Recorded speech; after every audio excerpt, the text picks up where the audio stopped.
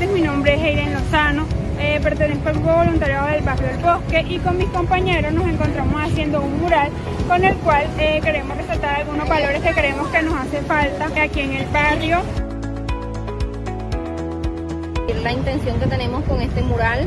es resaltar algunos lugares de Barranquilla, también recordarle a las personas que, pasen que pasan por aquí diariamente en los buses y caminando, este que de acá del barrio también salieron varios deportistas, queremos que se tomen un minuto y lean también valores que, que queremos resaltar de la comunidad.